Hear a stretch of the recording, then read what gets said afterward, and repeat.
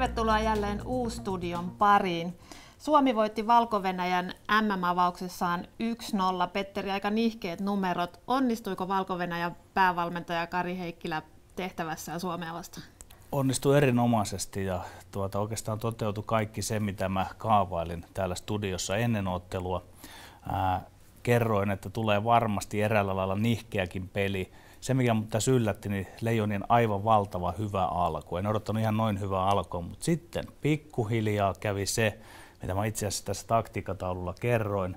Vaihtoehto B, Heikkilän vaihtoehto B, ja jos mä saan tänne pikkusen nyt kuvaa, mä tulen avaamaan tämän tarkemmin OP Yrenheikin kanssa sitten tuossa jälkianalyysissä, mutta tällä kärkikarvaajan liikkeellä, kun kärkikarvaaja ahdisti tänne Leijonien pakin kiekon kanssa ulos, niin tämä ennen pitkään johti sitten siihen, että tämä peli meni muuten sekaisin. Että Leijonilla oli kiekkokontrollia hirvittävä määrä.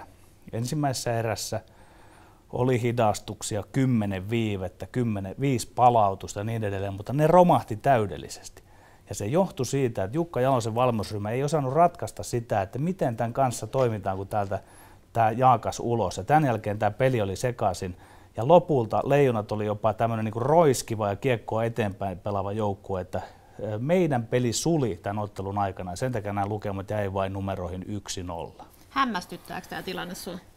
Ei se hämmästytä sen takia, että tämä on aina tämä prosessi, että nyt sitten Jalonen saa katsella sieltä niin kuin nauhalta, että mitä siellä oikein tapahtuu ja opiskella tänne. Että siellä esimerkiksi Ruotsi saattaa pelata vastaavasti. Tästä saattaa tulla trendi Suomea vastaan, koska tiedetään, että Suomi lähtee täältä viiveellä organisoidusti ja nyt kun se pakki pakotettiin ulos. Ja tähän tuli se turnauksen normaali alku, mikä sisältää pelillisiä vaikeuksia. Ja tämä on parempi. Mä, mä rakastan, että se on 1-0, kuin mm. että se olisi ollutkin sitten ne eka erän valtavista paikoista olisi tullut 6, 6-0. Mm.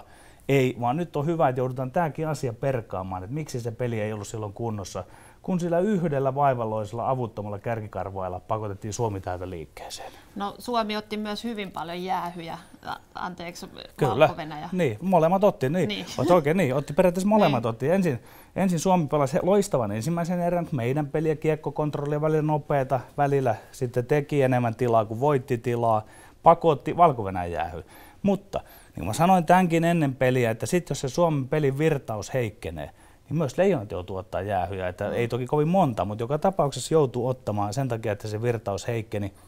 Ja ylivoimallahan taas voitu ratkoa, mm. mutta nyt se ylivoimamaali jäi vielä tekemättä, että aina kun voittaa jääkiekkopelin, niin se tarvitsee vähintään yhden, yhden tota ylivoimamaalin.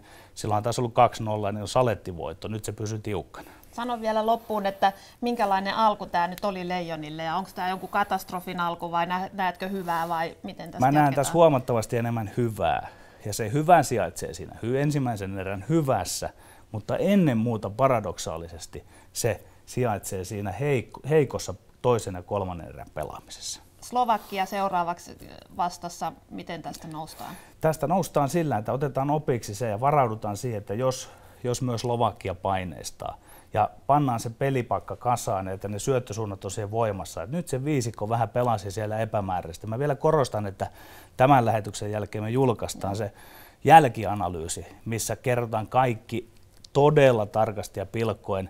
Ei toimita niin kuin Kanal Plusan studiotoimijat kertoo, että mitä tapahtuu. Me kerrotaan täällä sitten, että miksi.